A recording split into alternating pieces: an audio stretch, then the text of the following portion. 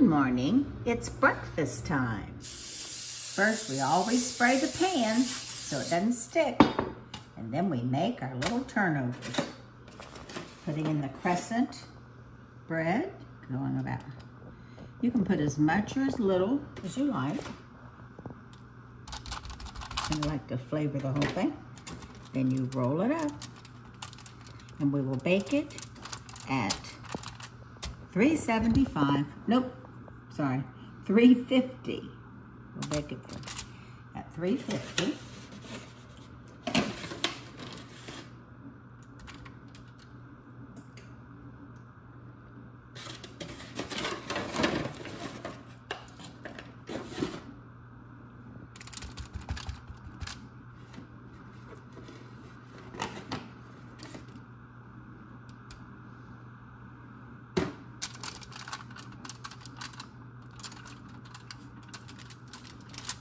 Now we'll come back after they're baked. Now we're going to make a little icing to put on the cherry turnovers. So we're taking powdered sugar with just a little bit of half and half. You can use milk, water, any kind of liquid you like. And just mix it up and it turns into an icing.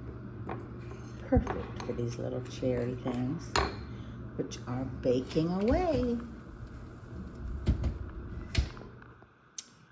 13 minutes later, they've come out of the oven, and I'm going to top it with this icing that we made.